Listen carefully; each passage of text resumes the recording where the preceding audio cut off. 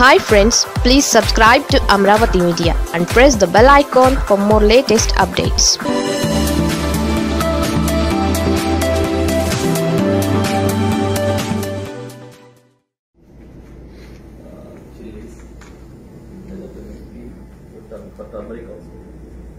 We announced the seven uh, more uh, very good. And this uh, creative MSP that you talked about, by when would this become operational? Already, It's already, already already for some crops we started now. Okay. Some jowar and uh, paddy we started last season. For this organic next from next season onwards we will. Uh, that's why we are planning the, the policy, organic policy.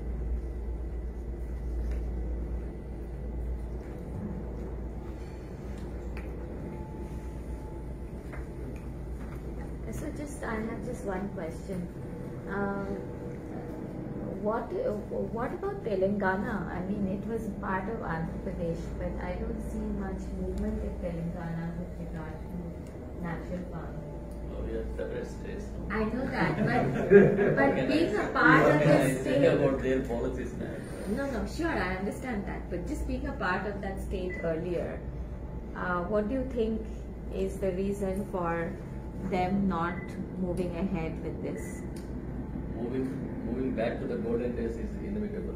Now we are moving with the uh, natural form. So It's inevitable. It's inevitable. It will, it will happen, it should happen everywhere, so, including Telangana. So it will happen Now in what? Telangana someday.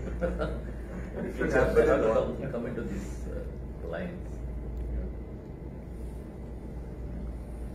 If we minimize the input, that is also one kind of uh, uh, farmer welfare. Yeah. They'll get the more money. Of course. And uh, this time, uh, Honorable Chief Minister taking a bold decision that anything